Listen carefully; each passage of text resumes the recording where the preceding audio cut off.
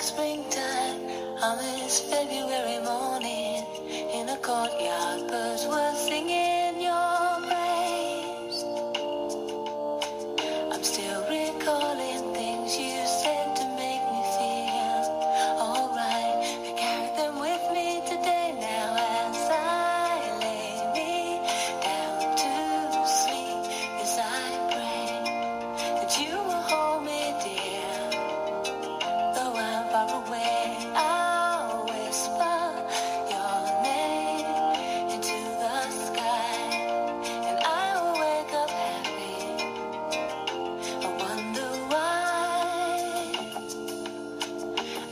so high, though I am not above the sorrow. Heavy hearted till